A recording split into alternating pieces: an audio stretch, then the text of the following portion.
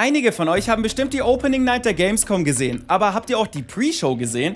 Die halbstündige Pre-Show fand ich interessanter als die Opening Night. Nicht, dass ich diese uninteressant fand, aber in der Pre-Show wurden mir drei Spiele gezeigt, die sich nun ganz weit oben auf meiner Merkliste bequem gemacht haben. Und vor allem Horrorfreunde könnten diese Spiele gefallen. Also, lasst mal drüber reden.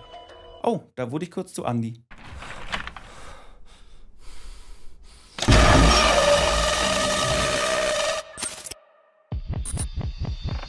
Es gibt ein paar Spielegenres, die mich so überhaupt nicht ansprechen. Aber es gibt auch dort immer mal wieder ein paar Ausnahmen, die ich für gewöhnlich nicht mögen sollte, sie aber dennoch irgendwie geil finde. So auch hier beim ersten Spiel. Wie Harvest Shadow ist ein Farming-Spiel, dessen Genre mir nicht egaler sein könnte. Nur ist Wie Harvest Shadow nicht nur ein gewöhnliches Farming-Spiel, sondern ein Farming-Slash-Horror-Spiel. Ich muss gestehen, ich mag diese depressive Stimmung, die mir der Trailer gibt, wirklich sehr. Der Typ sieht mir viel zu niedergeschlagen aus und auf seiner To-Do-Liste steht auch erstmal, verlasse das Haus. Das finde ich schon sehr witzig. Man errichtet sich hier also seine eigene kleine Farm, doch wird dieser Prozess wohl immer von ziemlich düsteren Abschnitten unterbrochen. Ich hoffe, dass man das Lamm nicht opfern muss. Der Trailer endet dann mit einer ziemlich interessanten Kreatur und ja, ich hab Bock auf das Game. Vom nächsten Spiel gab es vor einem Jahr schon einmal einen Trailer, den ich damals gesehen habe, ihn super interessant fand, ich ihn dann aber aus unerklärlichen Gründen wieder komplett aus meinem Gedächtnis gelöscht habe. Vor zwei Monaten habe ich ein Video über zukünftige Horrorgames gemacht, das ihr euch gerne anschauen dürft, das ist immer noch brandaktuell. Da habe ich dieses Spiel einfach nicht reingenommen, weil ich es einfach völlig vergessen habe. Doch die Pre-Show hat es mir wieder ins Gedächtnis gerufen. Ayla oder A-I-L-A sieht so unglaublich spannend aus, dass es fortan auf meiner Liste der heiß erwartetsten Spiele sich ziemlich weit oben bequem gemacht hat. Der Trailer zeigt so schön, dass sich die Entwickler dabei was gedacht haben. Wie man sieht, wie der Protagonist mit seinen Armen durch ein Stacheldrahtgewebe gehen muss, um an die Waffe zu kommen. Er muss wegen irgendwas einer Leiche einen Kiefer ausrenken oder diese Kreatur, die man sieht oder, oder die Grafik. Alles ist stimmig. Sobald das Game vorbestellbar ist, werde ich es mir vorbestellen. Ich sag's, wie es ist. Und dann noch ein Trailer, der das Potenzial hat, direkt in die Kerbe zu schlagen, wo ich es am liebsten habe. Nicht nur, dass es Potenzial hat, es tut es auch. Und es passt genau perfekt da rein, wo ich es am liebsten habe. Es ist eigentlich fast schon gruselig. Der Trailer geht nur etwas über eine Minute. Anfangs sieht man eine Dame, die vor irgendetwas flieht. Man merkt schon eine leicht bedrückende Stimmung, doch weiß man noch nicht, in welche Richtung das Spiel gehen wird. Aber dann sieht man, wovor sie wegrennt, nämlich vor sich selbst. Es ist ein Wesen, das sie imitieren kann. Bevor sich die Tür schließt, sieht man, dass dieses Wesen auch noch mutiert. Und zum Schluss sieht man dann nochmals mutierte Menschen. Ihr wisst genau, dass das ist, was mein Herz begehrt. Nichts liebe ich lieber als dieses Szenario. Also macht doch dieses Spiel sich ganz oben auf meiner Top-Liste der heiß erwartetsten Spiele bequem. Vermutlich sogar Top 3. Ganz sicher Top 3 eigentlich. Am Anfang der Opening Night Live haben wir auch direkt einen Teaser zu einem neuen Borderlands-Spiel bekommen, Borderlands 4. Und ich finde, das macht schon einen guten Eindruck. Dann wurde ein neues Dying Light angekündigt, worauf ich schon ziemlich Bock habe, ich aber auch erst die Vorgänger spielen muss. Endlich mal. Mit No More Room in Hell 2 wurde mir ein Spiel gezeigt, das mir eigentlich nicht gefallen sollte, weil ich diesen Cell-Shading-Look halt überhaupt nicht mag. Aber irgendwie habe ich das Gefühl, wenn ich mir den Trailer anschaue, dass mir das Spiel gefallen wird. Also packe ich es erstmal auf meine Merkliste. Dann ein Spiel von den Little Nightmares Entwicklern, das vom Artstyle her ein Little Nightmares sein könnte.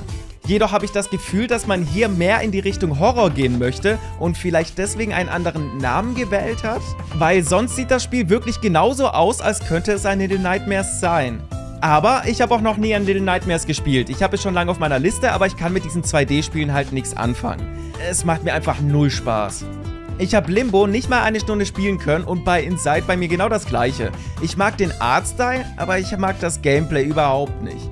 Deswegen habe ich Little Nightmares auch noch nie angefangen. Aber der Trailer zu Reanimal zeigt, dass es nicht nur ein einfaches 2D-Spiel ist, wo man von links nach rechts laufen muss und nichts anderes passiert, man sieht doch kleine Abweichungen so von oben nach unten laufen. Vielleicht ist ja das, was mir schon reicht, um Spaß an dem Spiel zu haben. Ich meine, ich bin ein Riesenfan von Brumble, The Mountain King und ich denke, Reanimal könnte in eine ähnliche Richtung gehen. Und vor allem sieht der Trailer halt auch wirklich gut aus. Und dann gibt es noch ein sehr wichtiges Thema, das mir sehr viel Sorgen bereitet, niemand darüber spricht und ich Angst habe, dass Deutschland wieder in die Zeit der Zensur zurückfällt. Ich weiß, drastischer Turn des Videos, aber darüber muss gesprochen werden. In den letzten Jahren war Zensur in Spielen eigentlich fast kein Thema mehr. So Spiele wie das Resident Evil 2 Remake oder das Dead Space Remake wurden komplett unzensiert bei uns veröffentlicht. Lediglich Dead Island 2 und Dying Light 2 wurden bei uns leicht zensiert. Von der Zensur der zwei Spiele bin ich kein großer Fan, aber es ist dennoch ein riesiger Fortschritt, den wir gemacht haben. Vor wenigen Wochen aber gab es einen Vorfall eines Spiels mit drastischer Zensur und niemand hat es mitbekommen. Niemand redet darüber. Dem schon beinahe ein Jahr alten Call of Duty Modern Warfare 3 wurde jeglicher Gore komplett aus dem Spiel entfernt. Im Zombie-Modus spritzt nur noch sporadisch Blut und komplett alles an Gore wurde aus dem Spiel entfernt. Auch sollen Kraftausdrücke rausgenommen worden, da habe ich aber keinen Plan. Aber alleine in Deutschland hat man die komplette Gewalt rausgenommen. Und ein Spiel, das man schlimmstenfalls gekauft hat, ist jetzt nicht mehr das Spiel, das man sich damals gekauft hat. Und der Aufschrei, der bleibt aus. Und niemand spricht darüber. Ich verstehe das nicht. Wir haben doch so guten Fortschritt gemacht. Vor allem in den letzten Jahren. Was ist auf einmal passiert? Gibt es jetzt einen neuen Vorstand der USK? Der 80-jährige Uwe grabt wieder die Killerspieldebatte aus und alles wird nach dem anderen wieder zensiert? Soweit darf das bitte nicht kommen. Ich würde sterben, würde das passieren. Und in die Schweiz auswandern ist nicht so einfach, wie ich herausgefunden habe. Ich habe wirklich geschaut, was man dafür machen muss und da steht leider nicht zur Debatte. Aber andere Länder wie Österreich oder Liechtenstein werden für mich immer interessanter. Bitte macht dieses Thema groß, redet darüber und verhindert, dass wir uns rückschrittlich in der Zensur bewegen. So, nun aber wieder um die Stimmung anzuheben, einer der tollsten Präsentationen, die ich je gesehen habe. Tim Miller, der für die Serie Love, Death and Robots verantwortlich ist, arbeitet nun drei Jahre an seiner neuen Serie, Secret Level. Diese Präsentation war so süß. Er hat auf der Bühne fast angefangen zu heulen, als er sein Herzensprojekt vorgestellt hat. Und ich bin ehrlich, ich hatte auch feuchte Augen. Uh, and it's finally time. So please enjoy the world premiere teaser of Secret Level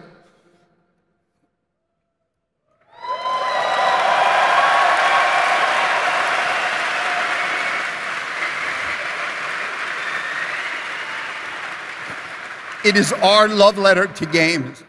And you can watch the series on Amazon Prime Video on December 10th. Not too far now. So enjoy. Thank you. Tim Millers neues Projekt ist eine 15 Folgen umfassende Anthologieserie, in der es in jeder Folge um ein anderes Spiel geht. Und ich liebe diese Idee. Könnt ihr euch noch dran erinnern? Vor zwei Monaten bekamen wir einen Trailer zu einer Diablo 4 Erweiterung zu sehen. Dieser Trailer sah so unfassbar gut aus, dass ich alles dafür geben würde, das in einem Film oder in einer Serie zu sehen. Ich erzähle euch nichts Neues, wenn ich sage, dass ich nicht der Filmtyp bin, aber ich werde mir diese Serie wirklich, ich, ich würde diese Serie aktiv verfolgen. Diese Idee ist einfach ein Kindheitswunsch von mir. Und außerdem bin ich großer Freund von Anthologieserien. Und außerdem war die Präsentation einfach viel zu süß, um das nicht zu mögen. Und auch das Publikum hat ihn sehr gemocht. Und auch einige im Chat haben ihn gefeiert, aber Einige halt auch nicht. Ich verstehe Menschen bei Gott nicht. Diese Live-Shows gibt es ja erst seit relativ kurzen, jedes Jahr wegen Corona. Und diese sind für mich jedes Jahr ein klares Highlight. Aber auch nur, wenn ich den Chat ausblende. Bei jeder Präsentation, sei sie noch so gut, gibt es so viele Leute im Chat, die so unfassbar ekelhafte, toxische Dinge schreiben. Und ich kann das nicht verstehen. Das ist so absurd, wie viel Hass es da gibt. Da gab es zwei Leute, die ihr erstes eigenes Spiel auf der Bühne vorgestellt hatten. Und der Chat war so unfassbar toxisch. Ich will mir gar nicht vorstellen müssen, wie sich die zwei dann fühlen, wenn sie im Nachhinein dann die Präsentation sehen und den Chat lesen müssen. Ja, es ging um ein Spiel, das auch mir egaler nicht sein könnte. Es sah so super uninteressant aus. Aber deswegen muss ich doch nicht so viel Hass in diese Show bringen. Wenn du ein Problem mit dem Spiel hast, dann ist es doch okay. Schreib deine Kritik dazu in einen extra Bericht oder mach ein Video darüber oder schreib es, wenn das Spiel erscheint, unter die jeweiligen Plattformen als Kommentar, als Kritik. Aber teil deine toxische Scheißart doch nicht im Chat bei so einer Show, wo man sich wohlfühlen möchte. Für mich sind diese Art von Shows ein Safe Space. Ich freue mich jedes Jahr aufs Neue und fieber so richtig drauf hin. Ich liebe das. Und das, obwohl dann auch viele Spiele kommen, die ich halt uninteressant finde. Aber so ist das halt, ist doch egal.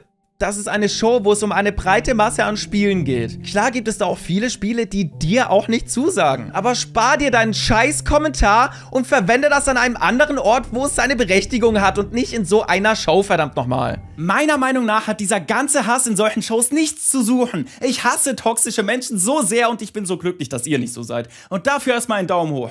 Also für euch. Der Daumen gilt nur für euch. Danke, dass ihr so seid, wie ihr seid. Ändert euch nicht. Seid nicht so toxisch wie die anderen. Macht es besser. Danke. Aber wir wollen das Video mit einem schöneren Thema beenden, das zwar nicht allzu viel mit der Opening Live zu tun hat, aber dennoch ich darüber reden möchte. Das Silent Hill 2 Remake. Der erste Silent Hill 2 Trailer, den wir zu sehen bekamen, war nicht wirklich gut, weil es das Spiel nicht wirklich repräsentierte. Dies führte dazu, dass sogar Bloober Team, die das Spiel entwickeln, sich zu Wort meldeten und sagten, sie hätten niemals so einen Trailer veröffentlicht. Dann wurden nach und nach immer wieder ein paar Trailer veröffentlicht, die auch immer besser aussahen. Bis vor wenigen Tagen dann ein Story-Trailer erschien. Konami haben dann auch endlich gecheckt, dass man einen Trailer mit der Absprache der Entwickler veröffentlichen sollten und das tat man hier.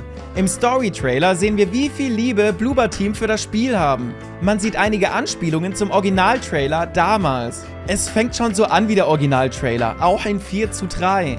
Das Bild wird dann breiter und der Trailer fängt an. Das ist so schön.